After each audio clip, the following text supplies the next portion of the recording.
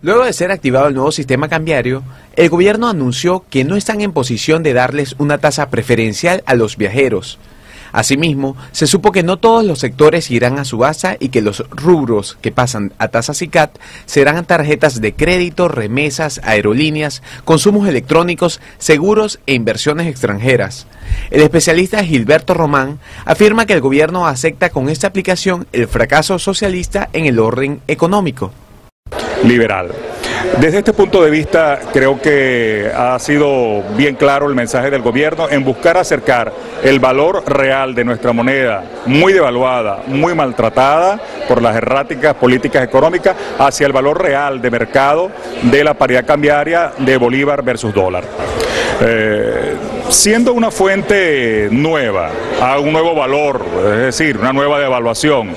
que va a implicar una alternativa de obtención de divisas para los procesos de importación eh, por parte de los empresarios, eh, pudiese aliviar un poco la extrema presión que existe sobre el CICAT 1 a los fines de obtener divisas para el proceso del desempeño normal de la economía, la producción y el comercio nacional. Sin embargo, hay muchas lagunas que aún no están claras. El experto advierte que no sabe de dónde el gobierno nacional va a obtener tanta cantidad de dólares para surtir la excesiva demanda que tiene el aparato productivo venezolano, sabiendo que los ingresos petroleros representan más del 95% en la obtención de divisas. Entonces no sabemos hasta dónde va a responder el público, eh, colocando sus divisas propias en un mercado nuevo de permuta, un mercado de, compra y venta de títulos de valores también, de papeles, y va los dólares que tiene los va a disponer en el mercado para que otros puedan comprarlo. Es decir, hasta dónde va, a haber oferta de verdad y hasta dónde el precio de esa oferta de, nuevos, eh, de nuevas divisas va a estar en consonancia con lo que quiere el empresariado y que no vaya a estar ascendiendo a niveles del dólar paralelo.